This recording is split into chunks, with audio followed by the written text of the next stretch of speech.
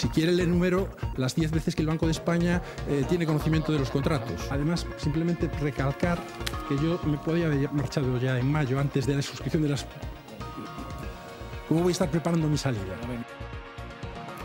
José Luis Pego se defiende asegurando que podría haber cobrado aún más de esos 8 millones que se llevó como prejubilación si se hubiese marchado antes de la fusión cuando todavía era director general de CaixaNova.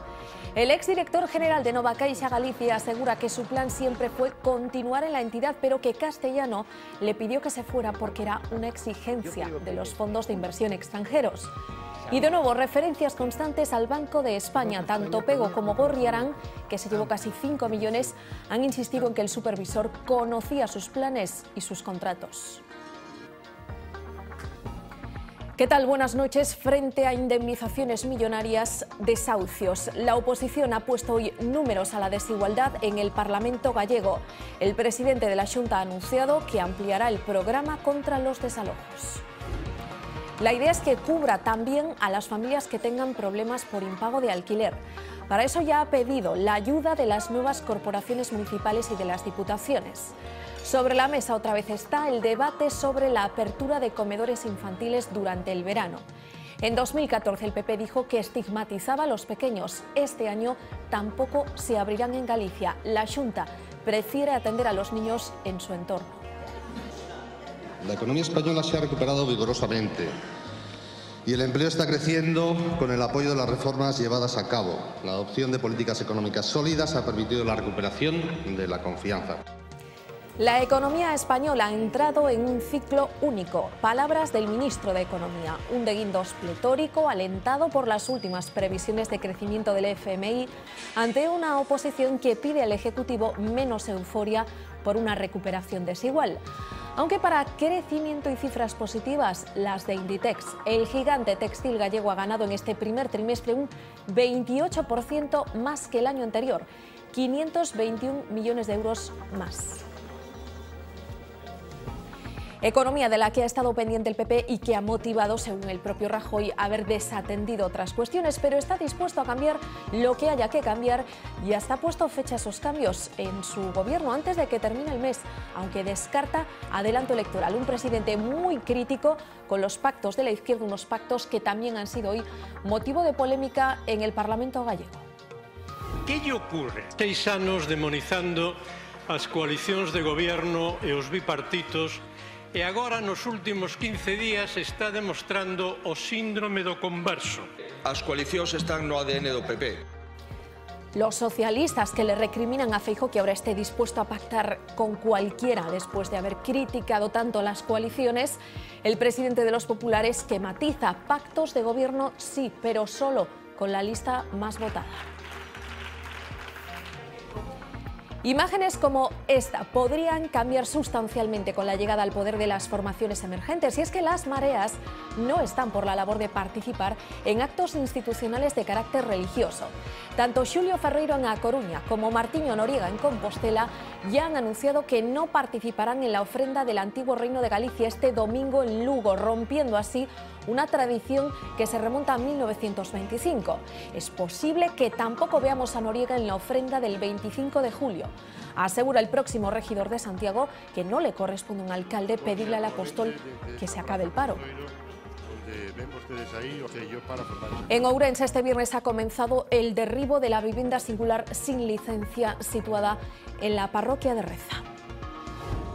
Una pala entraba este mediodía en la casa de Miguel y Rosa. Se ha echado abajo una galería y parte de un muro, aunque el resto de la demolición de momento está parada.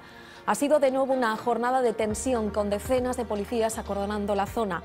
La familia y los amigos que pasaron la noche en la casa tuvieron que ser desalojados. Un auténtico arsenal, uno de los mayores localizados jamás en España, estaba en manos de un coruñés, un miembro de las Fuerzas Armadas que ya ha sido detenido. Tenía en su poder más de 100 armas de fuego, algunas de ellas de guerra, además de numerosa munición y explosivos. Se dedicaba a comprar piezas inutilizadas a través de Internet. Tras pasarlas por su taller clandestino, estaban listas para volver a disparar y regresar al mercado. La Guardia Civil investiga ahora si fueron usadas en algún delito.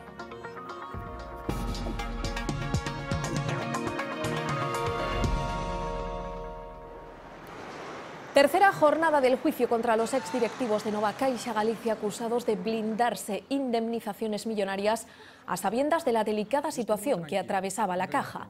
En su defensa, el que fuera director general de la entidad, José Luis Pego, ha asegurado hoy que el Banco de España tenía conocimiento de su contrato y del importe que suponía su salida, una salida que ha dicho no había preparado para irse con más dinero porque si se hubiese marchado antes hubiese cobrado incluso más que esos casi 8 millones de euros que se llevó, que su intención era permanecer pero que Castellano le dijo que se tenía que ir por imposición de los fondos americanos.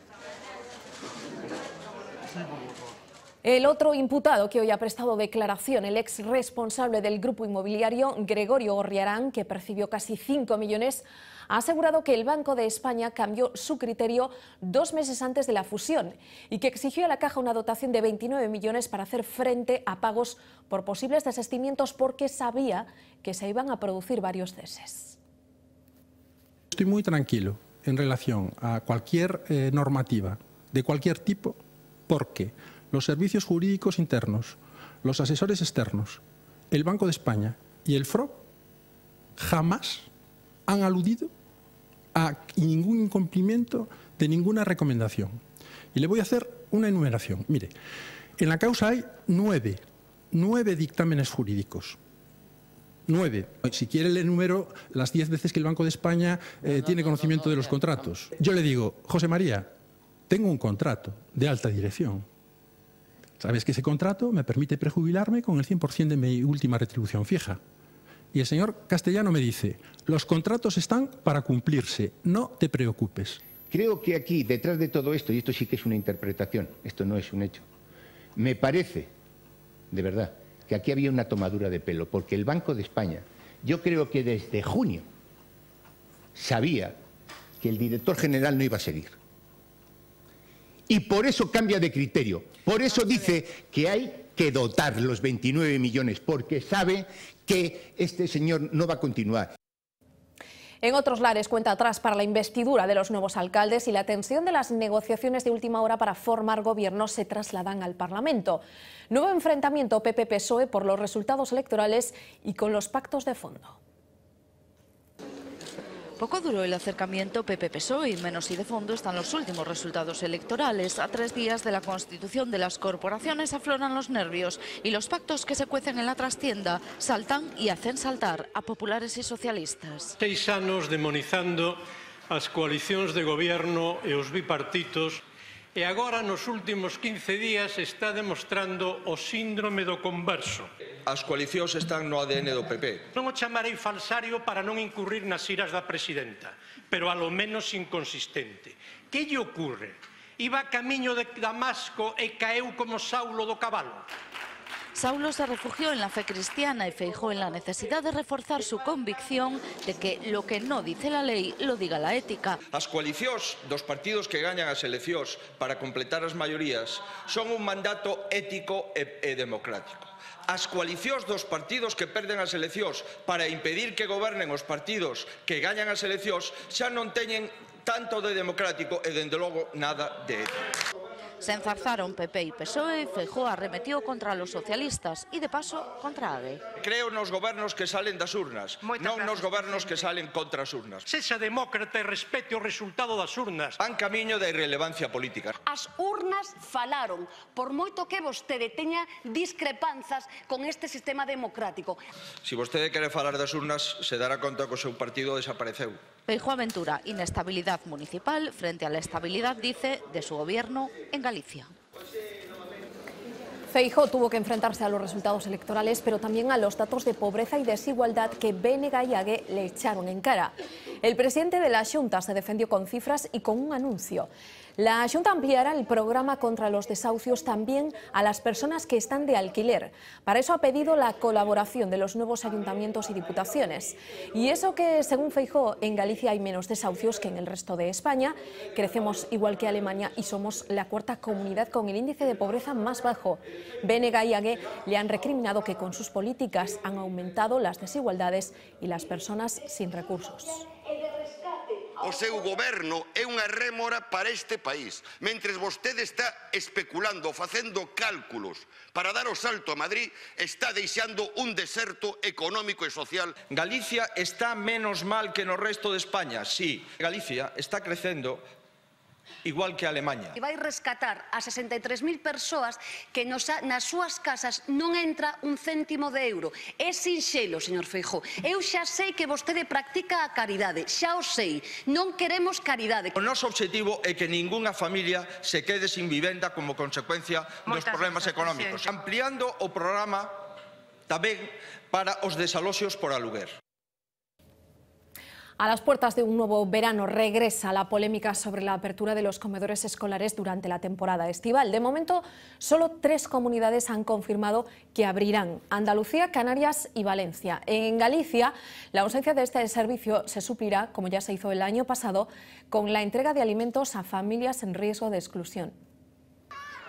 El fin de curso pone de nuevo sobre la mesa una dura realidad, la pobreza infantil. Un año más surgen voces que piden que los comedores escolares abran en verano para garantizar al menos una comida. Lo avala la defensora del pueblo y la oposición ha vuelto a pedirlo en el Parlamento, pero en Galicia los comedores cerrarán. Que a mellor fórmula é traballar con os nenos e cas nenas de unha forma integral e dentro das súas familias para evitar, pois, bueno, estigmatizacións. Es el argumento de la Xunta atender a los niños en su entorno a través de un convenio con los concellos y los bancos de alimentos. Si no comen los niños, no comen los hermanos ni los padres. Entonces lo que pretendemos, pretendemos no, es que es de siempre nuestro deber que no haya personas que no tengan alimento. ¿no? La fórmula es respaldada por las AMPAs y por entidades sociales que creen que abrir los comedores sería solo un parche. A nos sorprendenos moito que se fale da apertura dos comedores en horario de verán e se esqueza que os nenos tamén comen os sábados, os domingos, en Nadal, en Semana Santa, cada vez que hai un festivo, cada vez que hai un, un día non lectivo. Entón, o que demandamos é que a atención sexa integral. Necesitamos o que se fala de inclusión, de como se dar unha solución a medio plazo, e é tan sincero como falar de que se concedan todas as rentas mínimas de inserción que están pendientes. Conseguimos pouco a pouco crear un sistema de benestar non caigamos ahora de novo en que todo é emerxencia, non, non, hai que empezar a reconstruílo como se debe. El verano pasado, 168 familias con menores necesitaron ayuda para alimentarse. En Ferrol comienza el traspaso de poderes. La Marea ya tiene los informes del gobierno anterior y ha anunciado que encargará una auditoría interna del ayuntamiento. Este sábado, el líder de Ferrol en Común será investido nuevo alcalde. Lo que todavía no está claro es si encabezará un bipartito con el PSOE o si gobernará en minoría. 45 segundos ha durado el último pleno presidido por José Manuel Rey Varela como alcalde de Ferrol. O intenso pleno que temos por diante. Aprobación se procede do borrador da acta da sesión anterior correspondente a celebrada o día 28 de maio de 2015. Minutos antes, el Popular había iniciado el traspaso de poderes con el futuro regidor. Unha reunión cordial, un traspaso de poderes moi tranquilo. Las preocupaciones de la marea ferrolana pasan estos días por otras reuniones, las que mantienen para formar gobierno. El BNG ya ha rechazado entrar en el Ejecutivo. Concluimos que eh, existían diferenzas importantes. O programa eh, de mínimos é, eh, cando menos, eh, eh, limitado. Los socialistas mantienen su apoyo a la investidura de Suárez, pero las negociaciones para un futuro bipartito encallan en el reparto de concejalías. Eh? Home, depende. Si me preguntas a mí, pues igual digo que sí e eles dirán que non. Si preguntamos eh, Pois eu creo que un pouquiño sí. Diferencias a las que saca punta el PP ferrolano. El único acuerdo es para que yo no sea alcalde. Sí, en esta ciudad hemos tenido desgraciadamente muchos ejemplos de gobiernos inestables. Desde Ferrol en Común aseguran que las relaciones con el PSOE son fluidas y llegarán a buen puerto. Chegaremos o sábado nun goberno de unidade entre o Partido Socialista e Ferrol en Común co apoio do BNG que terá sempre as portas abertas durante estes 4 anos para formar parte dun goberno de unidade da esquerda de Ferrol. Los socialistas de momento guardan silencio. Las formaciones políticas emergentes escenificarán su ruptura con el pasado en los actos de investidura de este sábado, modificando los formatos de toma de posesión más tradicionales, pero sus gestos irán más allá. La Marea Atlántica no participará en la ofrenda del antiguo Reino de Galicia, que se va a celebrar este domingo en Lugo, una tradición que se remonta a 1925. Tampoco estará Compostela Aberta. Martiño Noriga previsiblemente no acudirá tampoco a la ofrenda del apóstol el 25 de julio.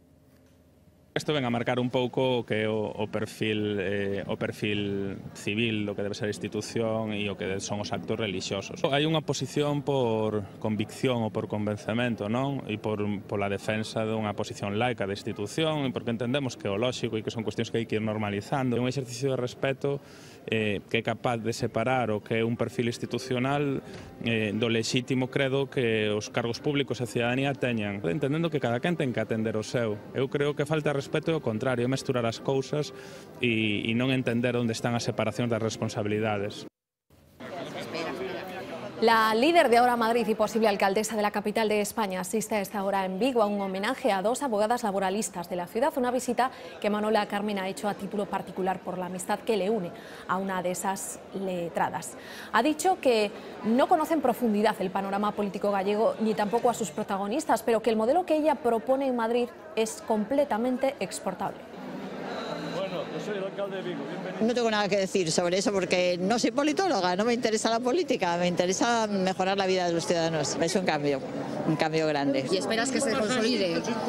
Yo, yo lo que espero y deseo es eh, conseguir gestionar lo municipal de una manera diferente, más cercana, más honesta, más eficiente, más creativa, más innovadora, más alegre. ¿Conoces algún político gallego? Yo diría que no.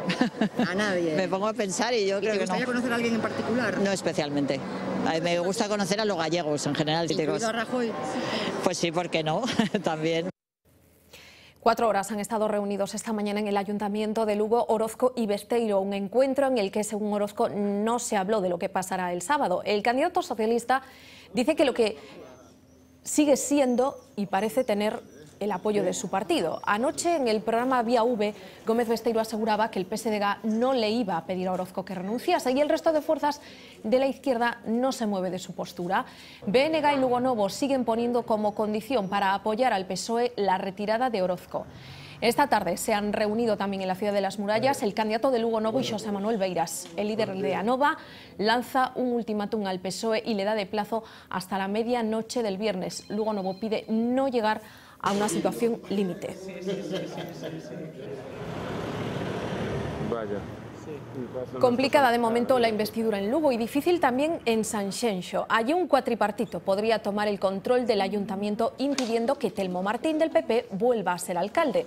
A pesar de sus múltiples reuniones con los liberales de Sal, parece que finalmente, en vez de apoyar a Telmo, será precisamente el candidato de Sal, Gonzalo Pita, el que llevará el bastón de mando. El PP perderá otros bastiones como Ribadumia. Louzán pierde el poder en su propia casa, el Barón Popular entona el mea culpa, se responsabiliza a sí mismo y al PP por no haber aprobado la ley que llevaría una segunda vuelta y que evitaría los acuerdos de las minorías. non pode ser que eh, haya eleccións o día 24 de maio e esteamos eh, a, a cerca do 13 de junio e todavía os ciudadanos non saben o que vai a pasar en cada un dos municipios porque parece que se desprecia sistemáticamente o que dixo o electorado. A min e a todos os dirigentes deste partido mea culpa por non tomar unha decisión que é ademais a segunda vez que podía haberla tomado e non a tomou de novo e polo tanto o culpable desta situación sin duda é o Partido Popular por non haber tomado a decisión que tiña que haber tomado. Debe haber unha segunda volta que permita precisamente que os partidos que ganen gobernen e os que perden teñen que estar na oposición. De pactos ha hablado hoy Rajoy desde Bruselas, evitando criticar el apoyo de Ciudadanos al PSOE en Andalucía, aunque sí ha pedido que en los ayuntamientos de esa comunidad se deje gobernar a la lista más votada. Sin embargo, ha calificado de muy preocupantes las alianzas de izquierda en Madrid, Barcelona o Valencia y ha vuelto a situar al PSOE en la radicalidad. Sobre los cambios que efectúa en su gobierno, Rajoy asegura que tomará decisiones antes de que termine este mes y que no habrá adelanto electoral. Ahora le hablo como presidente del partido, pues nosotros, eh, como todos los demás, queremos ganar las próximas elecciones generales. Hay cosas eh, que tenemos que rectificar, yo soy el, el primero eh, que soy consciente, hay cosas que tenemos que hacer mejor y yo voy a intentar trabajar para recuperar eh, su confianza. Haré todo lo que pueda y algunas decisiones tendré que tomar. Antes, antes, antes del verano, vamos ya, pero no. Venga, muchas gracias. Besos a la vicepresidenta, ministros, portavoces, diputados, besos y más besos. ¿Y esto a qué se debe? Buenos días, señora vicepresidenta, y feliz cumpleaños. Cumplen años 44 la vicepresidenta y este diputado algo más joven de UPyD. Felicidades, con algunos años de diferencia en mi contra. Y hasta aquí el buen clima. Ni cinco minutos han pasado para volver a la bronca de todos los días. Silencio, por favor. Hoy a cuenta de la corrupción. El PSOE que acusa a la vicepresidenta de hacer la vista gorda ante las acusaciones que pesaban contra el exdelegado del gobierno en Valencia. Usted, por ahora, es vicepresidenta del gobierno y portavoz. Y en el desempeño de esas funciones, si tuviese una gota de humildad, reconocería hoy que nunca debió nombrar a Castellano. Consejos vendo que para mí no tengo. Yo he asumido mi responsabilidad. Usted tiene sentado en el escaño a quien se puede sentar en el banquillo. Es de Chávez de quien habla la vicepresidenta y se vuelve a montar. Está contestando la vicepresidenta. Usted se remengará y con tono arrogante me acusará de cualquier cosa pero ninguna de las acusaciones que vaya a hacer usted hoy van a tapar su irresponsabilidad. Vaya tomando decisiones y menos darle lecciones a los demás. Aplíquese el cuento. Fuera, en pasillos, más de lo mismo. Dos semanas ya sin noticias de los prometidos cambios. Preguntamos a quien algunos sitúan ya como nuevo portavoz, ya sea en el gobierno, ya sea en el partido. Pues sí, ya lo he visto, pero yo creo que todas esas especulaciones pues no tiene mucho sentido. Más especulaciones. ¿Habrá adelanto electoral? Queda todavía bastante. El PSOE amagó ayer con pedir elecciones ya. Claro que luego rectificó. Aún no están en eso. En el Congreso de Guindos ha insistido en el giro único que ha dado la economía española. Según el ministro, hemos pasado de que nos dieran por desahuciados a estar en máximos históricos y cerca de recuperar los niveles de renta previos a la crisis. La oposición ha rechazado su euforia y habla de recuperación injusta e insostenible. Otras cifras hablan hoy de economía con sello gallego. En un lado de la balanza, las disoluciones de empresas que aumentaron más de un 22% en abril. En el otro lado, el acelerón del gigante Inditex. En el primer trimestre, la empresa con sede en Arteixo ha ganado 521 millones de euros, un 28% más que el mismo periodo del año pasado. Aumentan las ventas, también en España, donde Pablo Isla habla de evolución positiva. Inditex ha creado en el último año 8.500 empleos, más de 1.600 en nuestro país.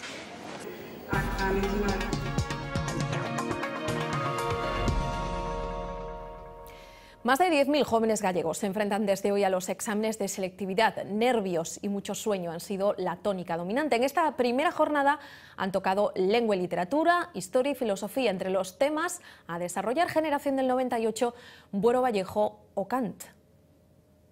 Más de 10.000 estudiantes gallegos afrontan desde hoy hasta el próximo viernes la temida selectividad. La jornada comenzó con los exámenes de lengua castellana y literatura con la generación del 98 y el teatro de posguerra como opciones a elegir. Después los alumnos se repartieron entre historia y filosofía. Los primeros tuvieron que elegir entre constituciones españolas y final del franquismo y transición. Kant y Platón fueron los filósofos que cayeron este año. La jornada terminó con las pruebas de lengua galega y lengua extranjera. Nervios amuletos, falta de sueño, repasos de última hora y finalmente un balance positivo entre los alumnos.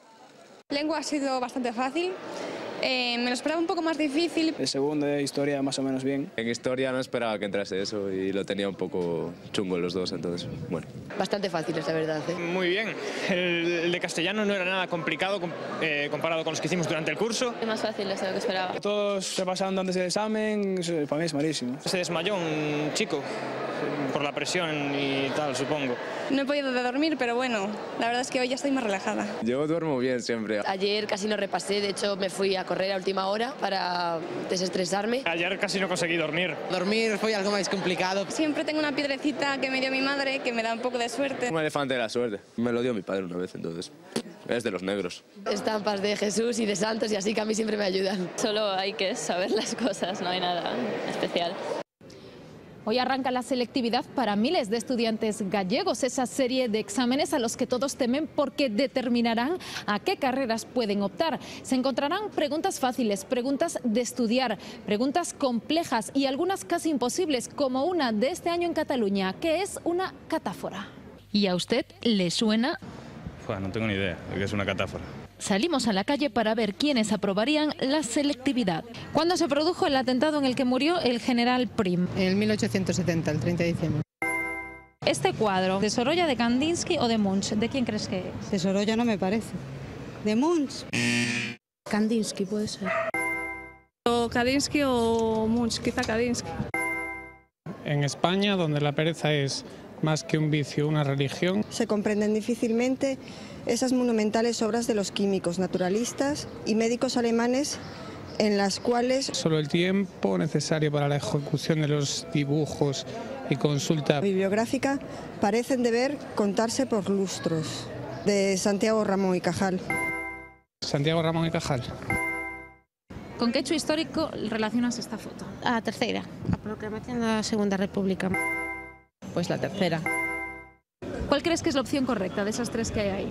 Esta No. Tarragona, no. Baleares tampoco, Madrid tampoco.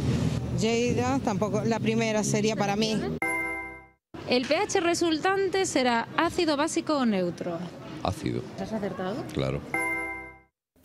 Ni la ola de solidaridad de sus vecinos ni las encendidas defensas de artistas y arquitectos han servido. La casa de reza sobre la que pendía una orden de derribo ha comenzado a demolerse.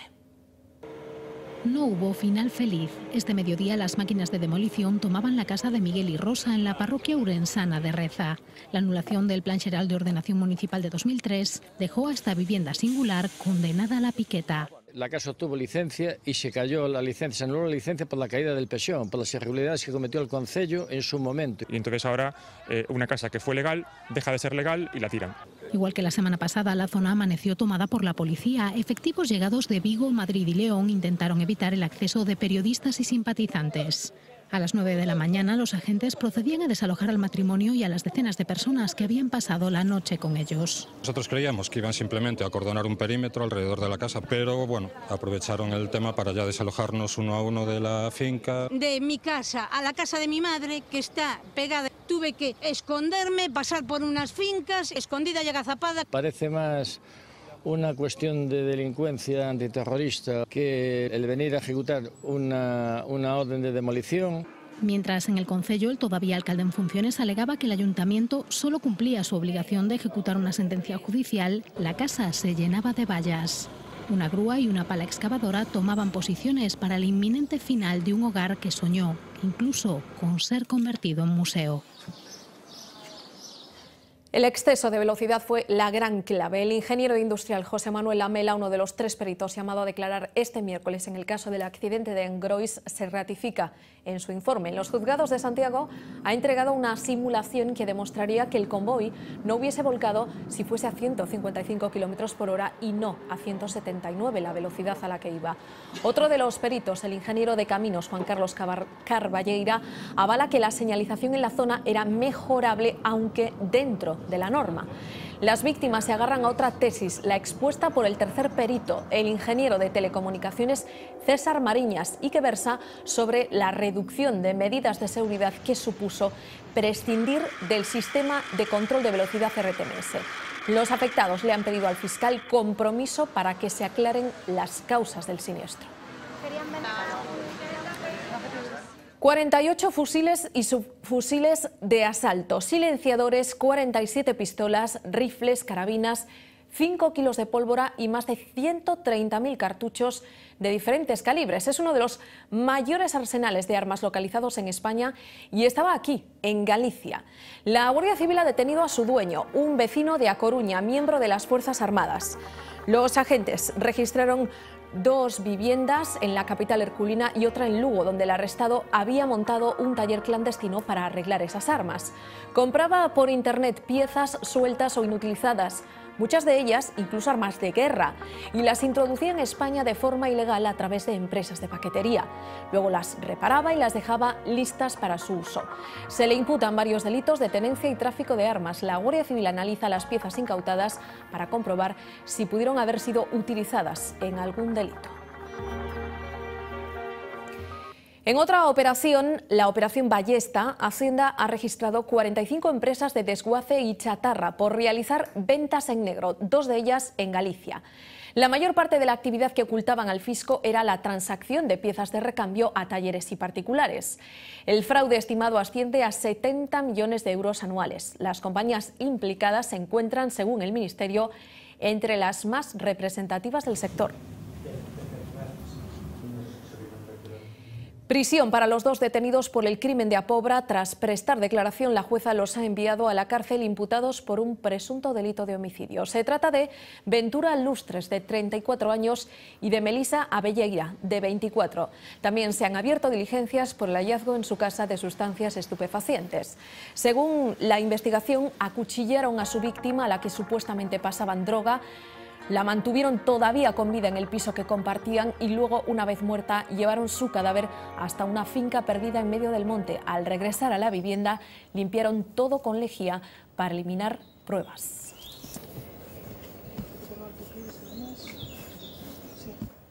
Cada año mueren ahogadas en España 400 personas, el perfil mayoritario hombres mayores de 60 años. Siete de cada diez ahogamientos se producen en entornos naturales y entre un 14 y un 19% en piscinas, sobre todo privadas. De cada 39 sucesos de riesgo vital que se producen en los arenales, uno acaba en resultado de muerte. Los expertos llaman la atención sobre la importancia de prevenir y la necesidad de formar a la población. Esta mañana la playa coruñesa de Riazor acogía un simulacro. La infanta Elena ha participado en un taller de reanimación cardiopulmonar.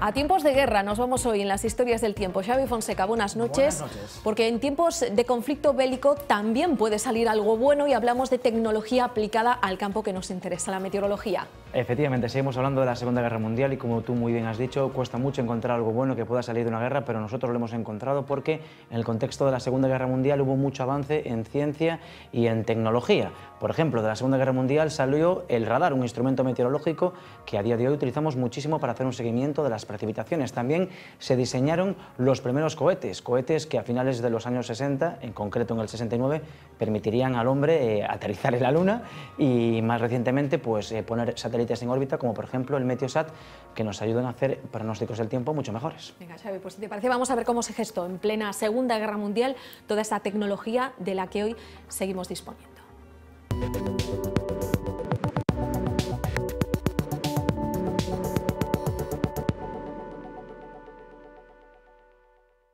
En el horror de las guerras a veces surge algo de luz en forma de conocimiento y tecnología.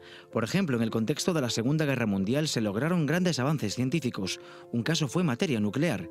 Intentando anticiparse la construcción de la bomba atómica por parte de los nazis, los americanos pusieron en marcha el Proyecto Manhattan. Libramos una guerra de ideas. Puede que la guerra sea en el campo de batalla, pero no te equivoques. La paz se ganará con cerebros, no con músculos. Olvídate de descifrar códigos y de la meteorología, la óptica. Construís una bomba atómica. Prefiero llamarlo artefacto. Las investigaciones de los físicos permitieron comprobar toda la energía que hay detrás de una cantidad mínima de materia. La ciencia se utilizó con fines bélicos, algo que después el gobierno estadounidense, presionado por los propios científicos, trataría de compensar con el programa Átomos por la Paz. En meteoroloxía pois sucedeu exactamente o mesmo. De feito, o teatro de actuación era o mundo entero e ter pronósticos meteorolóxicos e coñecer como é a dinámica da atmosfera, pois realmente sí tiña moita importancia e, por lo tanto, foi algo que se desenvolveu moitísimo. La aportación más significativa en meteorología que se llevó a cabo durante la Segunda Guerra Mundial y que sigue siendo útil en nuestros días fue el radar. Se desarrolló comienzos de los 40 para detectar aviones y barcos de combate. E os radaristas, as persoas que operaban estes aparatos, pois se deron conta de que as eh, precipitacións ás veces daban ecos que lles confundían. E ás veces pois veían algún eco que se achegaba e realmente era un, eh, unha fronte de chuvias. Lo que era molesto en épocas de guerra comenzó a ser muy aprovechable en tiempos de paz. Así que en los años 50 se instalaron los primeros radares meteorológicos en los Estados Unidos. Que un radar realmente? Bueno, pois un radar é un emisor, neste caso de microondas, eh, esa, a longitud de onda das microondas pois eh, ten un tamaño comparable ao das gotas de auga, así que cando detecta un sistema frontal que está eh, pois a unha determinada distancia, simplemente alguno deses eh, eh, haces de microondas rebotan e volven a chegar ao aparato e polo tanto o que estamos medindo é a reflectividade e isto pois é o que se usa hoxendía, por exemplo, pois eh, en probas de Fórmula 1, por exemplo, cando estamos eh, vendo unha proba e vemos que dentro de 5 minutos ou de 10 espera chuvia, pois o que están facendo os meteorólogos dos equipos é ver os radares e ver como esas zonas de chuvia se van movendo. La Segunda Guerra Mundial dejó además otras aportaciones de forma indirecta. Hoy los satélites que tenemos en órbita permiten monitorizar la Tierra y observar observar los cambios en la atmósfera, océanos y un largo etcétera. Una tecnología que comenzó con los cohetes. Sí, de feito, os alemanes eh, tiñan un cohete o V2 que afortunadamente para todos non se chegou a desenvolver completamente. El V2 de los alemanes fue el padre de los cohetes modernos, también de los utilizados por los proyectos espaciales de la Unión Soviética como el Sputnik o de los programas Apolo. De hecho, uno de los ingenieros nazis, Werner Magnus, fue nacionalizado americano tras la guerra y reclutado por la NASA.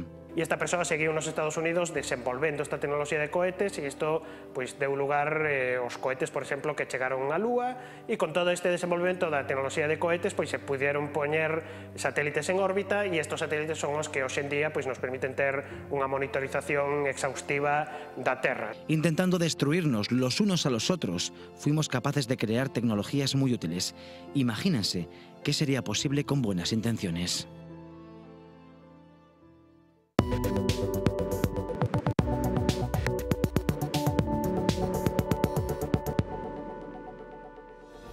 Xavi, digas lo que digas, que bajan las temperaturas, yo sigo teniendo calor, no sé cómo lo ves. Yo también sigo teniendo calor, la verdad.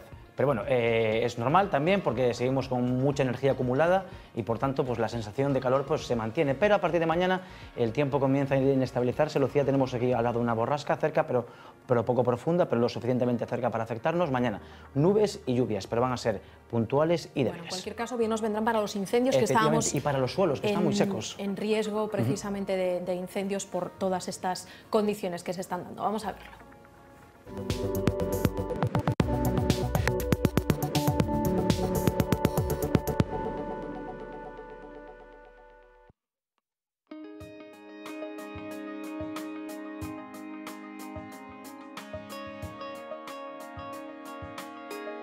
Este jueves Galicia quedará bajo la influencia de una pequeña borrasca situada al noroeste, muy cerca de nuestra comunidad.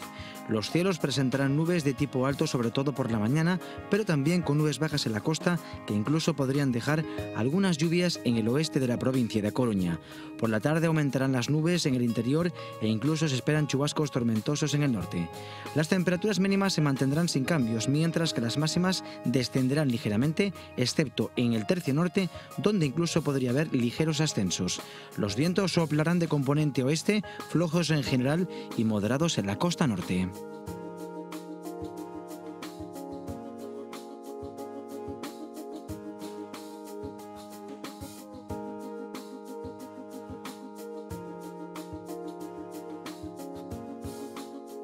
El viernes Galicia se mantendrá bajo la influencia de la pequeña borrasca situada al noroeste de nuestra comunidad.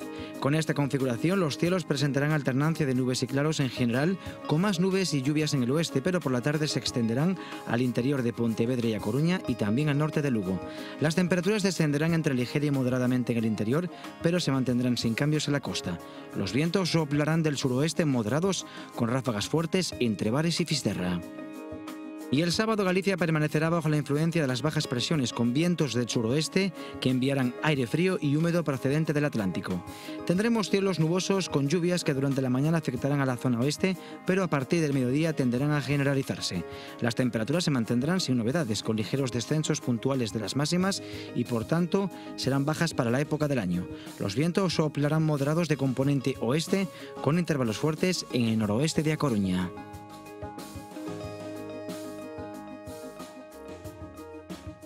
Comprobamos ahora el estado de la mar que espera este jueves. En las Rías Baixas soplará viento del oeste con fuerza de 2 hasta 4, marejadilla marejada con visibilidad de buena a mala y mar de fondo de noroeste con olas que van a alcanzar el metro y medio de altura.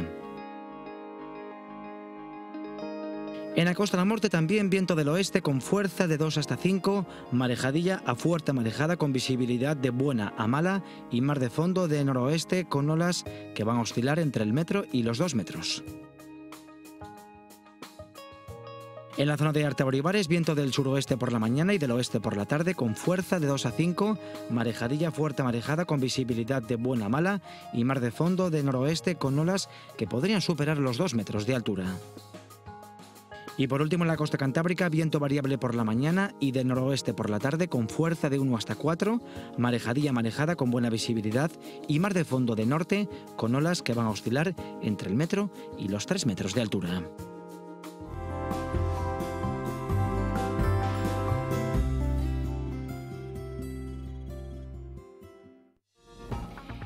9 y 35 minutos, nos vamos ya hasta el plato de Vía V. Escuchamos hace unos minutos al ministro de Guindos pletórico, eufórico con esos datos y creo que la cosa va hoy también de economía. Fernanda, buenas noches. ¿Qué tal, Lucía? Muy buenas noches. Bueno, pues efectivamente, vamos a tratar eh, de desentrañar uno de los grandes misterios de los últimos tiempos. ¿España va bien o España va mal?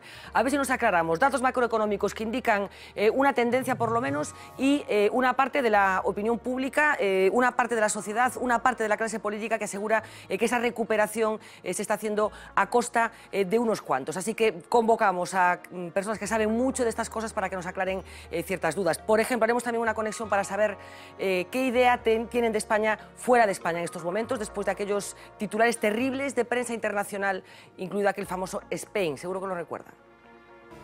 La situación aujourd'hui que connaissent nos amis espagnols, après celle qu'ont connue nos amis grecs, nous rappelle à des réalités. Après sept ans de gouvernement socialiste, regardez la situation de l'Espagne. Yo no quiero tomar el rumbo de España.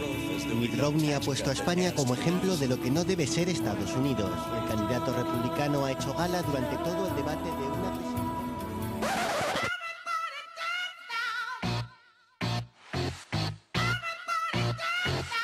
España crece al doble de lo que crece la zona, la zona euro. Tras muchos años, pues España ha sido el país que más ha crecido en la Unión Europea. Vamos a ser el país que más empleo cree este año en toda la zona euro.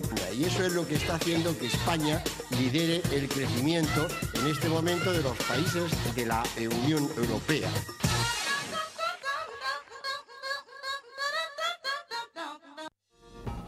España va bien o España va mal, esta noche a partir de las 10 en Vía V. Y nosotros a la vuelta de publicidad hablamos del primer proceso judicial abierto en la historia de España contra una persona por licantropía, el famoso hombre lobo gallego Roma Santa cuyos eh, artículos, cuyo material judicial de ese proceso judicial sale a la luz esta semana con motivo del Día Internacional dedicado a los archivos. No se lo pierdan, será a la vuelta de publicidad.